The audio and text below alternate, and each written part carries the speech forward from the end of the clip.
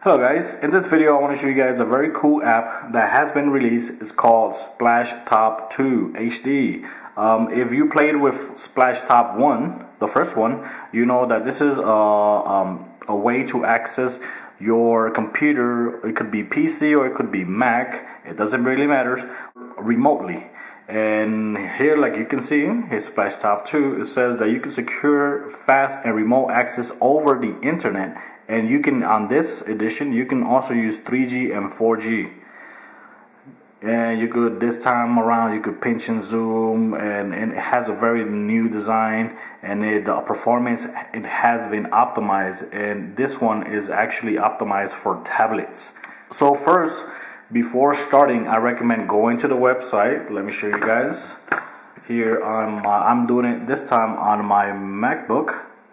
Uh, make sure you go to splash top home splashtop.com here you can see right away right when you launch the page you can see here get streamer for PC or Mac. Just make sure you hit on that and it will automatically start downloading like you can see here. Boom make sure you say keep and that's it. After it installs let me see when open it up you open it up bum, bum and you're gonna go just through the normal installation process as always blah blah blah blah. And the thing is when you get into let's close the window here. Let's close this. So Splashtop is gonna be right here. You're gonna have your preferences and this is how it's gonna look Splashtop on your on your computer. It's gonna be always running in the background so this is good. When you see this highlighted as um, white you know that's running in the background.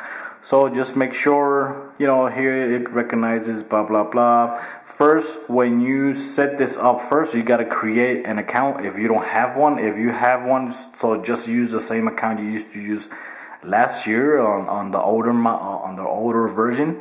And just make sure you put enable auto launch if you want the, the program to launch automatically when the computer is on uh, you can also put a, password protection.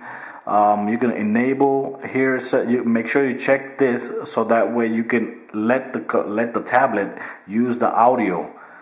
Because if you uncheck this, you will be having access but without audio. So just make sure this is checked and improve this product. Uh, this will send information to them too so they can fix any problems whatsoever. And that's it. That's it. Once you do this, you're all set to go. Uh, this is a very simple program. You just install it and just go through it and make sure you got checked whatever settings you want. But make sure you check the audio settings. That way you could access your audio from your tablet. So now let's go here to the tablet. This is the Nexus 7. Here's the app. When you launch the app, it's gonna tell you to create an account. If you if you don't already have an account when the, when you launch this for the first time it's gonna tell you to create an account. And once you create the the account um, everything is easy. Um, just make sure this is uh, if you're at home just make sure it's using the same Wi-Fi network both of them um, here automatically when you launch it you're gonna see if you have like three computers you're gonna see all three computers right there and if you want to rescan you just click that and it will rescan again all your network all your computers. And here once you uh, right now I got my computer here. Um, here has an option settings. Here you could use uh, you could change the resolution on your tablet but the, I recommend just leaving it like best fit to this device I rather leave it like that. I don't want to see no hiccups or nothing.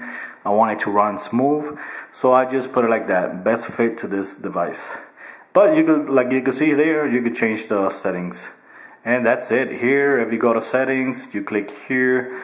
Is gonna here you're gonna be able to, to access your um, Splashtop account, and here you, here you're going to be able to uh, run a couple settings like optimize your network, product improvement, run in compatible mode, enable auto lock, allow screen auto lock when idle after connection to streamer, how to blah blah blah blah. Okay, so let's go ahead and connect it so you guys can see how nice it works. Like you can see right there, the screen of the of the of the MacBook um, just flickered like blue. So that means the connection is has been done. And here um, when you first launch it you're gonna see a couple gesture hints how to use the, the, the touch screen and everything. Bum, bum, bum, very nice. And if you slide. You can see some more um, hints. Uh, this scroll bar in the bottom is very nice. You're gonna see it right now. And I always try to keep I always want to see the hints because I sometimes forget. So now look at this. Now I have I'm using the screen of my um, I'm right now um, using my computer remotely on the Nexus 7 tablet. That's very cool. Uh, from here you could do almost anything you can do on your computer. Like right now I could go ahead and open a, a folder like you can see right there let me put this a little better right there so you guys can see all of everything going on on the screen on both screens. And here you could select an item. Um, here you could go ahead and and scroll. Very nice. Um, let's go ahead and close it. You could double tap to to put it down. Um, here I could go ahead and watch a video. Let's see if I can see one of my videos right there. This is one of my recordings that I put on YouTube. See? There you go. That. like you can see the TV, it's working and everything. And the audio, like you can see, is from here. Oh, great. I turned off the screen. Okay. And it sounds good. Look at that. Very nice. The audio sounds perfectly.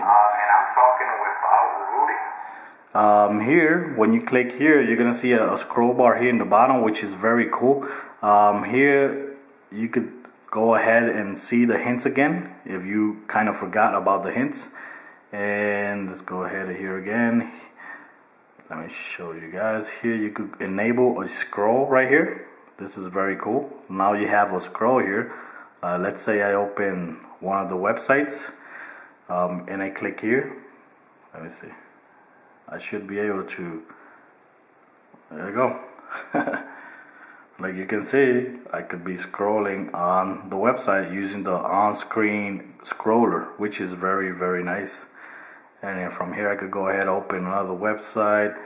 I get I'm using right now Chrome.